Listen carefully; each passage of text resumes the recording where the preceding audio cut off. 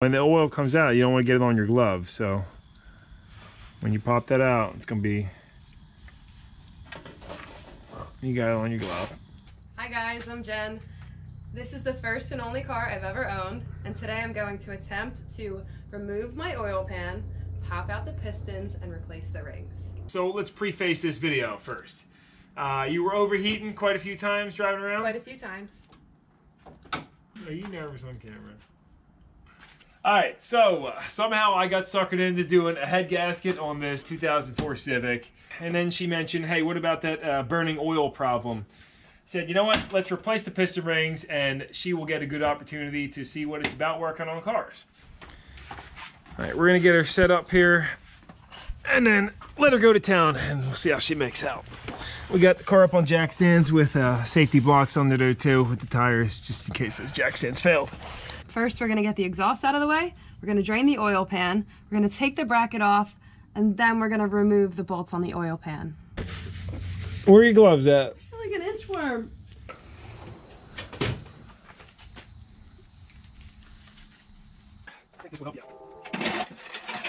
There you go.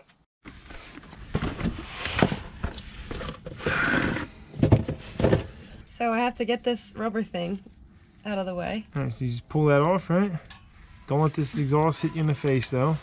I'll tell you what, you hold it up and I'll push this off with my finger. Right, that's off. So here, take this bungee cord, hook this on something over there. This sucks. How's that? Is Great. that out of your way? Yeah. Beautiful. All right, attach the air gun. Ah, what the hell? You're pulling the trigger. there we No. You gotta, come on, you put that on before. I know you I can. have an air compressor, but it's not it's not working the same way. Oh. Can I get a pillow or something? if you need one. All right, put put the gun on the end of this bolt and tri- trigger control. All right, just give it a little zip with the with the trigger. One little zip. Go ahead again. Am I doing anything? Yeah, take it off. Go ahead, all the way.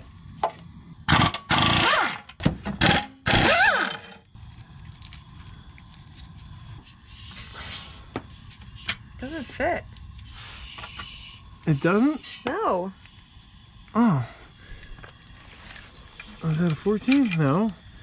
Oh, you got the socket on upside down. How do I get it off? You have to jam it off now. You jammed it on there. Oh my god, give me this thing. Here. The square end goes on the air tool. This is just torture. Beautiful. Great. Now the front one. And bring the bracket down without hitting yourself in the face. Because you're not going to be happy if you break your tooth. Alright, there you go. Now, when the oil comes out, you don't want to get it on your glove. So, when you pop that out, it's going to be. You got it on your glove. All right, so that's mostly drained out. I'm gonna put the plug back in. Alright, Great. Where'd it go? can't work like this. I I legit don't know how you get this back in this hole when it's all oily like this. talk to the camera. Say what you're going to do. I don't know what I'm gonna do. That's You the square end. I had a mosquito bite me on my back. Now I'm gonna zip off all these oil pan bolts. Yep. It's horrifying. All right, now I'm gonna take these bolts off the oil pan. You're in a bad mood now, are you? How can we Why can't it? I be in a bad mood? Nobody's enthusiastic about this. You want me to do it again? All right, now I'm gonna take these oil pan bolts off. You seem really excited. How do you honestly feel about the oil pan bolts? It's a lot harder than I thought it would be. All right, so, all right, now I'm taking off the oil pan bolts.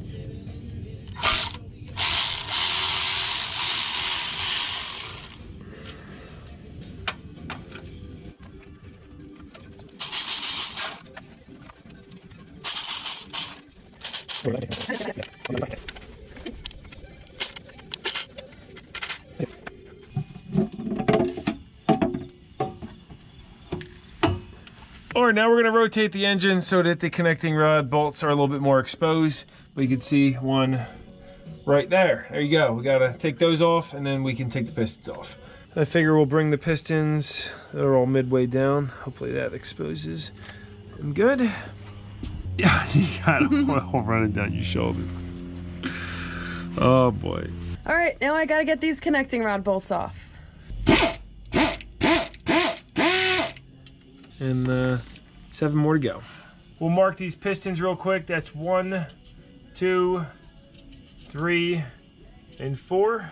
So we don't get mixed up on those. Of course, I'll probably etch them once I take them out.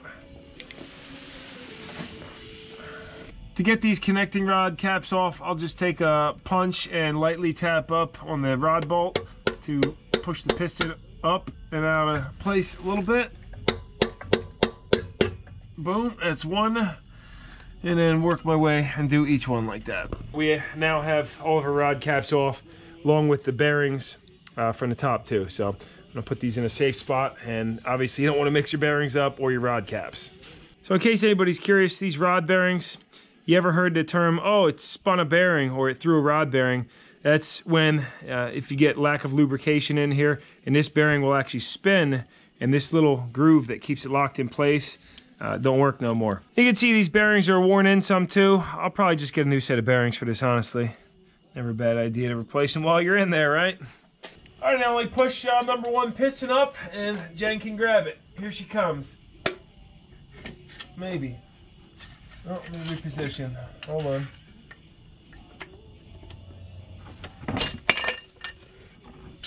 Which way did it come out? All right, well, it doesn't matter because this says in right here, and that means the intake, so it came out that way. The oil control ring in here is all coked up and slouged up, and that's what really causes a lot of oil consumption on these engines. So we're gonna get these cleaned up, get some new rings, and the pistons actually look pretty nice. Get right, babe. We'll just redo it. Here.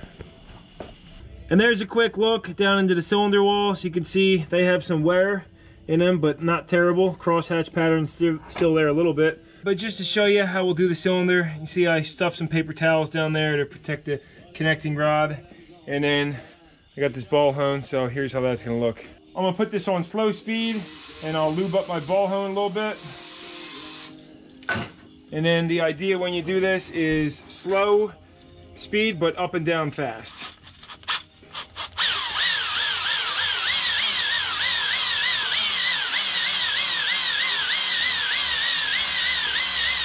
And let's see how that looks. And I gotta clean this out a little bit more, but you get the point. Just enough to break the glaze, get a nice crosshatch pattern on there. You can then give it a final wipe with uh, Liquid Wrench, WD-40, or I highly recommend using Mystery Marvel oil, except I don't have any of that right now. So I'll just uh, spray this on here, and then she'll give it a good final wipe. It's convenient because my hands actually won't even fit in these darn cylinders. If I try to go in, it's like, oh, nope, rejected. And see, even out that little bit of metal still came out, so we're gonna give those a few more wipes. You wanna make sure that they are spotless. How you making out? Good, it's tedious. I already wire wheeled the tops of these pistons, got them pretty clean, but um, she's she's getting them nice and clean in those grooves because the grooves were completely uh, sludged up. So she's getting there. You don't have to get ultra crazy cleaning everything underneath. I mean, of course you could use a sandblaster doing this, but I don't have one of those. So she's just using this pick and using the old rings to clean them. But it's very important that you get these grooves clean so that uh, that crud back there is not jamming up these piston rings. The piston rings have to float in the uh, lands, ring lands, so that they do their job properly.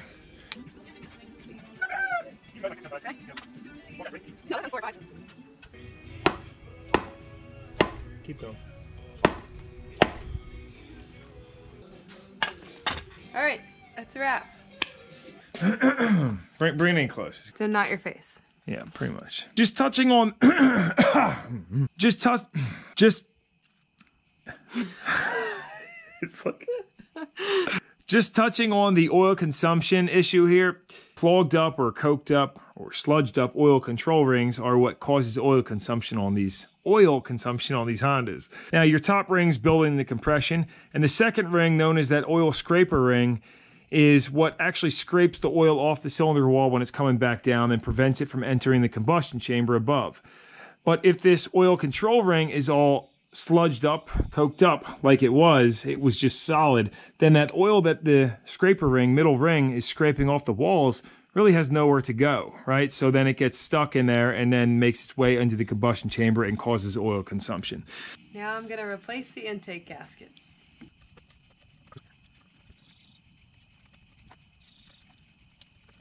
Here we are, next day again. Gonna get some more work done. We got our NPR rings in. These are OEM, made in Japan, Nippon piston rings, factory set. So she's gonna check the ring end gaps in these. The spec for the top ring is six to 12 thousandths. Second ring is 12 thousandths to 18 thousandths, and the oil control ring is 8 thousandths to 28 thousandths. And those rods, when we put them back in, are gonna get torqued to 24 foot-pounds. Ended up grabbing some of this Marvel Mystery Oil too, and she's gonna finish cleaning the cylinders out with that. And I'm gonna install the crank seal, so let's get to work. On the top compression rings, you will always put them in so the N is facing up on the piston. Those are directional.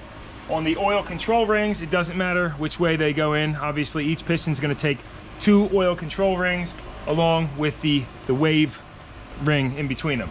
She is going to now check the ring end gap, and just to give you a an idea of what that's about, you take the ring that you're going in, and really this is best to be checked at three points in the cylinder bore. You check it up top, in the middle, and on the bottom, but uh, we're not gonna do that in this. We're gonna just make sure that these are within spec.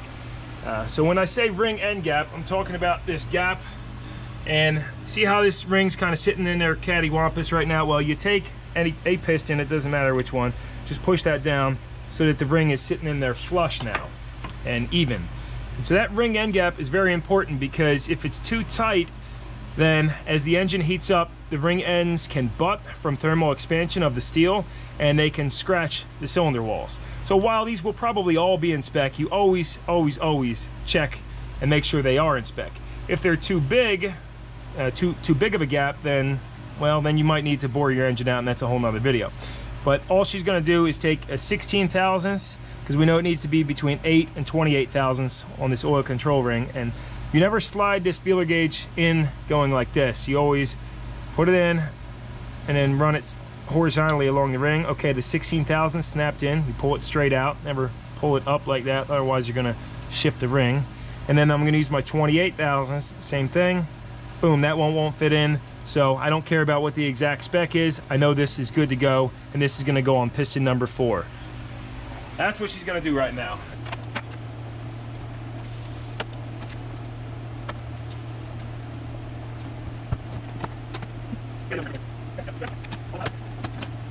When you put these oil control rings on, you put the wave in first and the two ends butt right up against each other. They don't overlap. And then you put the two rings on. This box shows a good diagram of the oil control ring. So you want the ends butting, not overlapping like that. That would be incorrect. So we've got all the rings on now, except for this top one. And that's just what they're supposed to look like.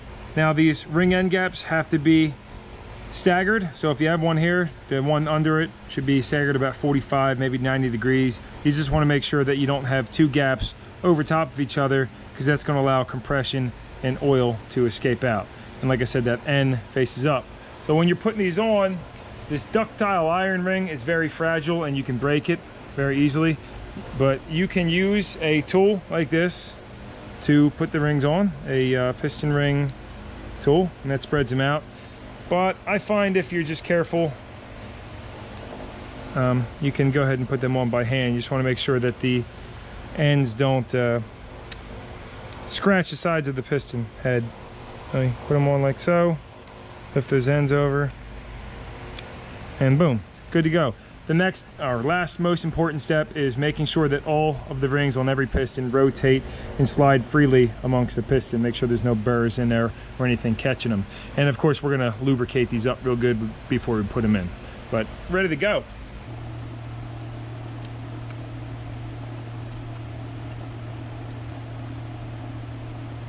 We've got the connecting rod journals cleaned up, made sure no sand or dust is on them, of course, and this really is a great example of how a piston type engine takes the reciprocating motion of pistons and turns them into rotational energy like that. So you can see that's the crankshaft spinning there, and these are your main bearings. Now, let's drop these pistons in now and get the rod caps back on. We've decided to reuse the original rod bearings since they didn't have any problems and they only have 140,000 miles on them. Plus the ones I ordered at AutoZone ended up being made in Taiwan, so I feel a lot more comfortable putting these factory ones that are already mated to that crankshaft in. It's very important when you're putting these connecting rods together that the mating surfaces are completely clean with a lint-free cloth really is what you're supposed to do and that when you put these on, you'll see they each have a number on them. They actually all say number three, but these rod caps have to go on in the exact same uh, fashion they came off. Cannot stress that enough. I'm gonna put a dab of this Ultra Slick assembly lube on each rod bearing too. Just a little dab will do you, and then rub that in. And of course, before we put these pistons in, you wanna put some uh, clean motor oil onto the, the rings. This thing's not coming out, there comes.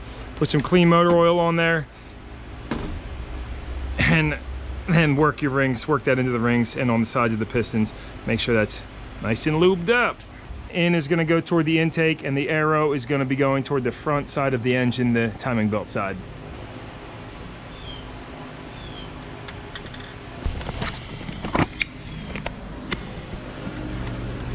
You can grab it by the rings. Now, it's gotta go in perfectly flush as it goes in.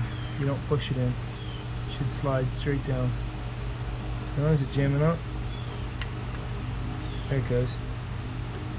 So once the piston's down to that point, we're now gonna put a ring compressor on here to compress these rings.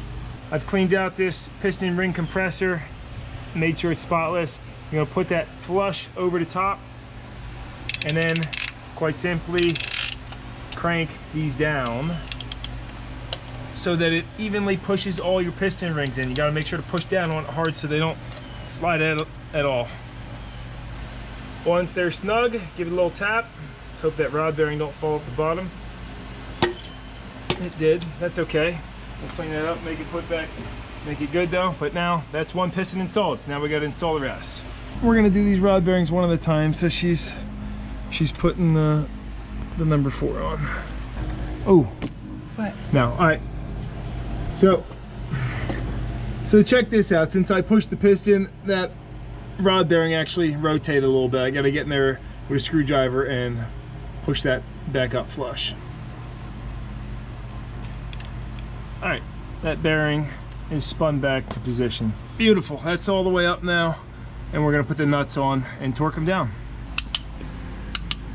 That's one down, three more to go.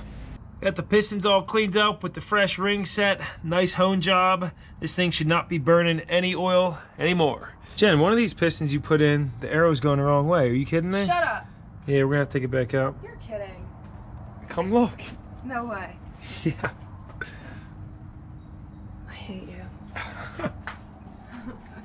We got the head back from the machine shop. This is actually a remanufactured head. Put the studs in, put the cam in, lube that all up.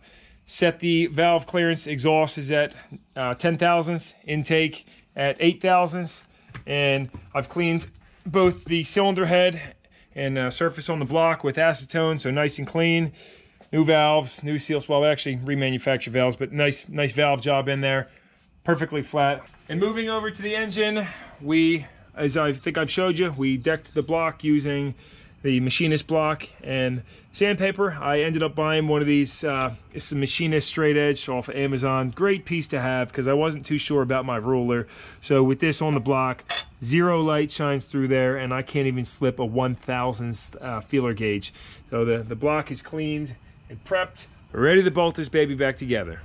Drop our dowel pins into the block. Head gaskets nice, fresh, and clean.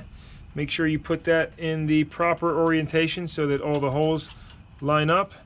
Set that on the block and yeah, she looks good. And go ahead and toss your head on there. Making sure to line it up with the dowel pins. Hopefully she goes on good, right? Boom, beautiful. Looks tight. Got a light coating of motor oil on the head bolt threads. These are brand new head bolts. Drop those all into place.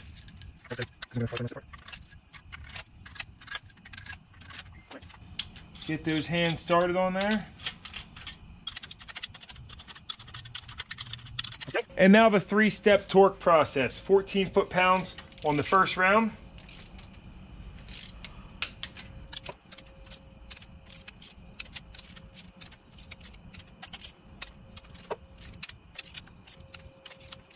Thirty-six foot-pounds on a second round. Of course, making to making sure to use the proper pattern that I showed you, I think earlier in the video, but uh, staggering them.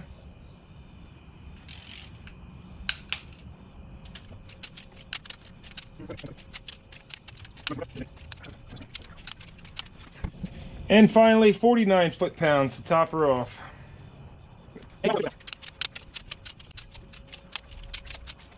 Once you've done that, I always like to go one more round on it and make sure they're tight.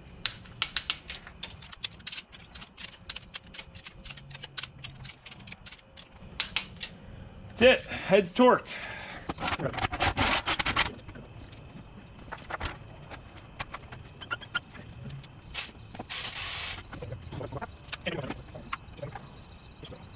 So this is one of the downsides of a remanufactured head. This is like a broken off bolt or something in the bottom of it for one of these valve cover bolts. So I'm only getting like four or five threads out of that. I tried using that hole, but we had to helicoil it. So I, I drilled it out to a quarter inch and then ran this helicoil tap. And basically this is a steel thread insert that I'm gonna put in there. We now have steel threads inside of this aluminum cap. Just clean up the rest of these couple shavings we've got around and uh, it'll be good.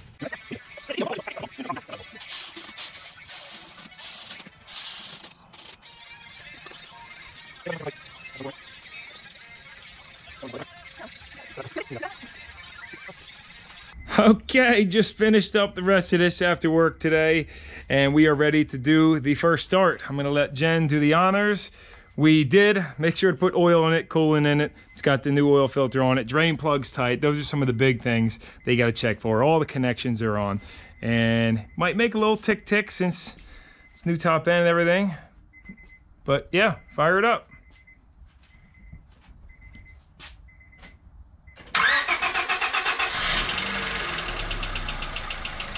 Bring the RPM up a little bit. A little bit. Beautiful. Couple little ticks in there. That's completely normal till the oil flows to the top end. And now I'm gonna go ahead and break this motor in. What do you think? I'm really happy. She runs good, right? How about all that smoke? She's on fire, right? Alrighty. Well, that's a successful job. We'll go ahead and bleed all the uh, air out of the cooling system. This is a great piece to have. If you haven't used one of these before, check them out. Is called the Funnel Buddy. No, it's not the Funnel Buddy. I forget. I'll plug a link to it down below. It's made by Lisle.